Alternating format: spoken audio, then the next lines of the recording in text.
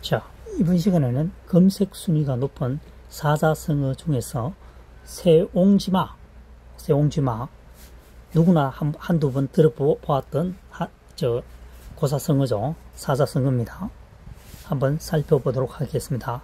변방새, 변방새, 늙은이용, 갈지, 말맞자죠. 변방의 늙은이가 사육하고 있는, 기르고 있는 말이다. 이런 얘기겠죠? 직역을 하게 되면요.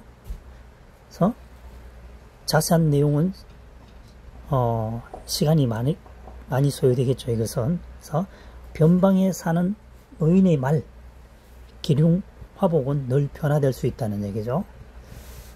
불행이 행복이 될 수가 있다는 얘기입니다. 불행이 지금은 불행하지만 행복이 될 수도 있다라는 내용을 포함하고 있죠. 그래서 변방 세자를 한번 살펴보도록 하겠습니다. 틈하자입니다. 틈하. 그 다음 흑토입니다. 그 다음 여기서 짚고 넘어가야 할 게 뭐냐면은 변방세 또는 막을 색입니다. 색. 색. 음과 흥과 음이 두 개라는 얘기죠. 흑. 변방세 막을 색. 이때는 막을 색으로 풀이하면 됩니다. 틈 사이에 흙으로 뭡니까? 막는다는 얘기죠. 어디요? 변방에요. 그쵸?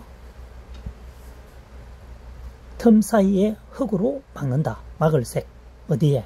변방에. 변방은 적군이 쳐들어오지 못하겠도록 탄탄해야 하니까요.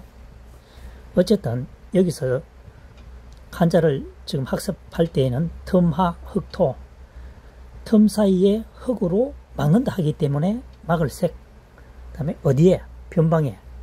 이렇게 학습을 하면 도움이 되겠습니다. 그 다음 늙은이 공자입니다. 공변될 공 기두죠.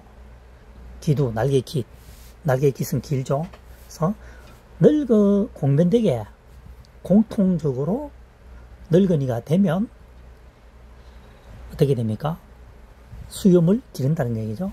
그래서 기두 공변되게 깃을 기르는 사람은 늙은이라는 얘기죠. 요즘은 젊은이들도 뭡니까? 수염을 기르지만 이 한자어가 만들어질 당시에는 수염을 기르려면 적어도 한 50세 왜냐하면 평균 수명이 잘은 몰라도 60세 넘어가는 사람이 그렇게 많지 않았습니다. 그래서 늙은이 옹이 되겠습니다. 변방에 있는 늙은이